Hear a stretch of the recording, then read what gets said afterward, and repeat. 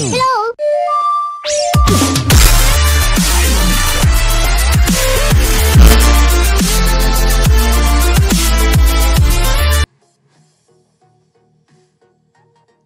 Hey guys, it's G-Man here, back at again on a Dragonvale breeding episode. Today I'm going to tell you how to breed the new Frostfluff Dragon. It's a pretty cool little dragon, I'm excited to get into this video today. This dragon is a Rift Dragon, so it's more harder to breed than the normal um, dragons that we usually get in Dragonvale. So yeah, actually collected all the dragons of the Rift kind recently, but then there was this little guy right here, which you can see on screen, so now we gotta collect this guy too. So I'm gonna show you the breeding hit, give you guys some time in order to look at it, and then after that, we're gonna read it to you guys. So, first thing we, you need to know about this dragon is that you need to have the Rift aligned with it in order to breed it, no matter what. So, the easiest way to get the Rift aligned with it is by purchasing it by 4,000. Now, this is way easier than uh, waiting for it to pop up on a random day. That's what my recommendation is.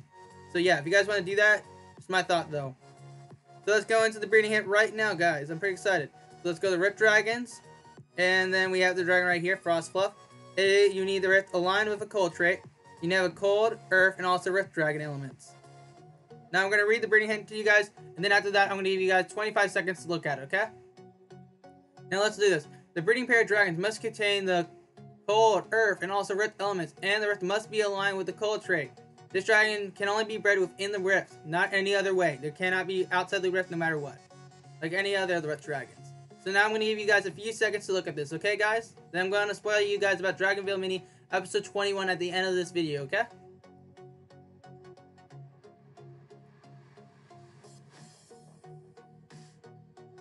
Okay then.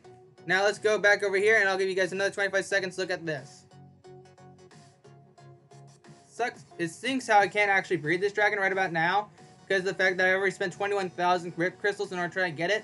I didn't have a good chance at getting it. I actually tried multiple times to get it and now it's like 5,000 for me to breed again. So kind of a bummer on my part. So I am having a hard time. I'm, I'm having a hard time. But yeah.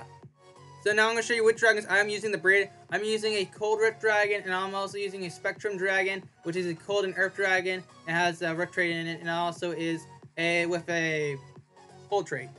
But yeah, pretty cool little dragon. You can see right here, it is actually 5,000 for me to breed again, so it's pretty expensive at this rate. So yeah, uh, I don't think I'm going to be breeding one another one today. Hopefully by Dragonvale Mini episode 21, I'll be having it and maybe having all the red Dragons again. That'd be great. But we'll have to see until then. So yeah. So let me head back outside the rift, and then after that, I want to talk to you guys about what I want to do for Dragonvale Mini Episode 21. First thing I want to do, I want to actually upgrade Kairos and see if we can get him to level 19 and also get 23 hours, which is the second to final last level. Then I also want to upgrade the Oni Dragon. Not get the Oni Dragon, I mean, show you guys the Oni Dragon, Spirit Dragons, Young form, Teen form, then Adult form, hopefully. If we can do that at all, that'd be great. We'll have to see. But if this video did help you out, make sure to, um, yeah. I'll just see you in the next one. If you guys want to stay tuned for more of my videos, that'd be great. Until then, I'll see you next one. Well, if you guys did enjoy this video today, make sure to hit that like button, subscribe to the channel, and don't forget, you guys are always the best. But until then, I'll see you next time in the next video. G-Man out.